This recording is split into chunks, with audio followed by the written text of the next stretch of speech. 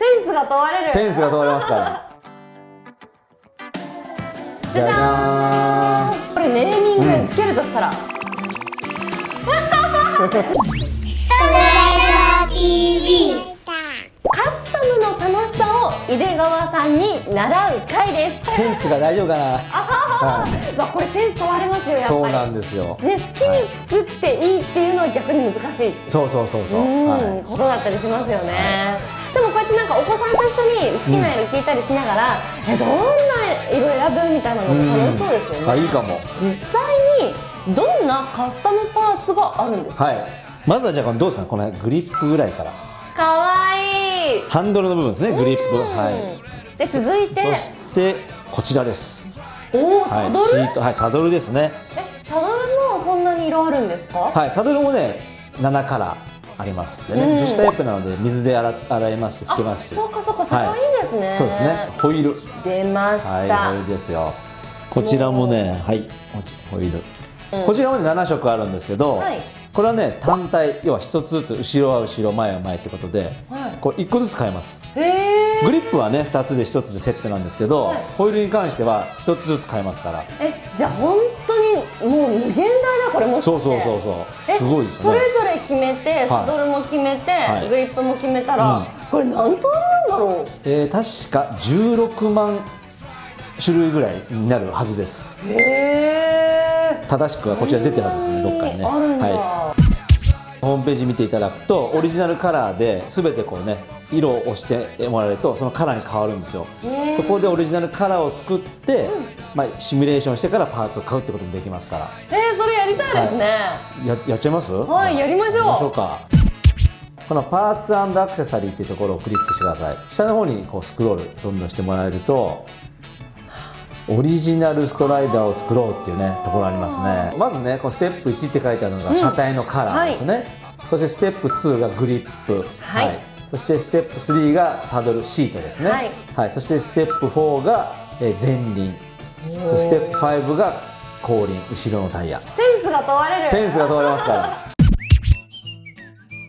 差し色でねピンク入れたいんですよね。あ可愛い。い、はい。それが好きな感じで。にしたい。うん。僕はちょっと自己中に自分自分が好きなやつにします。グリップの色変わるだけで全然なんか。違いますね。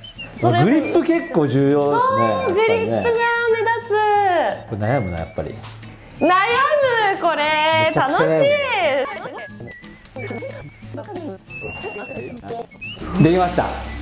できた。できた。私もできた。できました。こちらです。じゃじゃーん。どうでしょうか？これなんか、どっちもいける。なんか男の子女の子関係なく。そうですね。なんかかっこよくもあり、はい。可愛くもありみたいな。まあ、コンセプトはねやっぱり自分がの乗りたい。ストライダー、おー。はい、なんで個性をアピールしたいし、はい。だけどちょっと可愛く見られたいみたいな。可愛く見られたいな。はい欲張りかみたいな。おじさんあるあるね。おじさんある。ちょっと可愛く見可愛さ出していくそうそうそうそこですよ。それでかっこいいだけじゃちょっとねモテきれないみたいな。そうそうそこですやっぱりちょっとあのモテたいそれ以上言わないで恥ずかしい恥ずかしい。それ以上言わないで恥ずかしいから。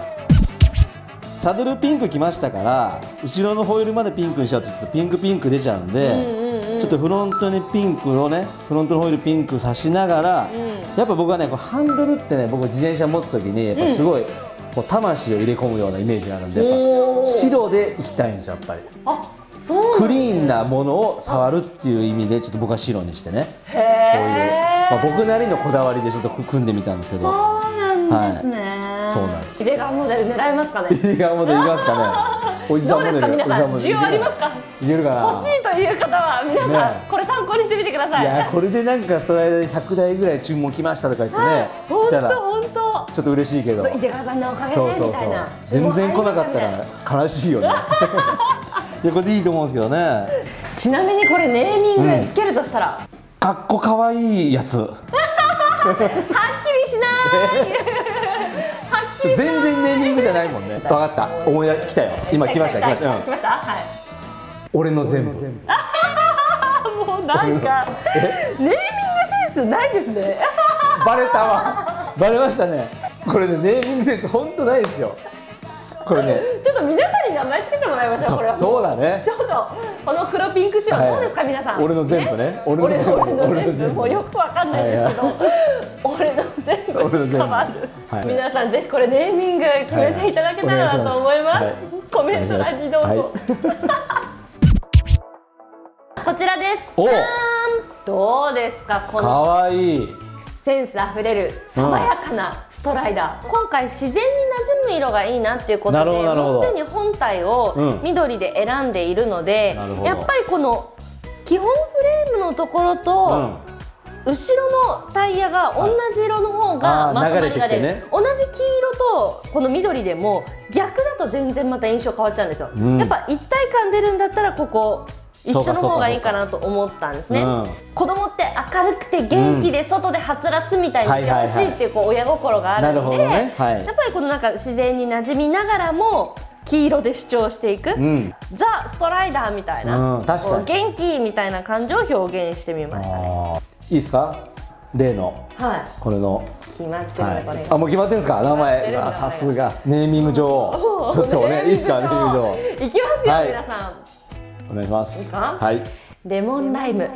変わんないじゃん僕とあんまり。いやいや変わんないネーミング女王え？待ってびっくりした。レモンライムですよ。見た目そのままじゃないですかめちゃくちゃおしゃれじゃないですか。それ。テーマじゃない。カラー言っただけじゃないですか今。だってカラーを。レモンライムって森の妖精とかですセンスない。全然全然センスない。で森の妖精って。まず見たことないし。森の妖精。ない。盛り上がるねこれね。盛り上がるこれ楽しい。いや楽しかった。うん。本当楽しかったですね。やっぱりパソコンの画面で、うん。あのいろいろこうやって色選んでるだけで、ん。ここまで大人でも楽しめるんですよ、ん。もうこれは皆さんねお子さんと実際に相談しながら、ん。ここでシミュレーションしてみてください。でなんか皆さんの渾身の色とかうん。も、あのコメント欄とかでねあ教えていただけたらいいですね。嬉しいななんていうふうに思います、はい。皆さんもぜひぜひお試しください今日のストライダーキッズは。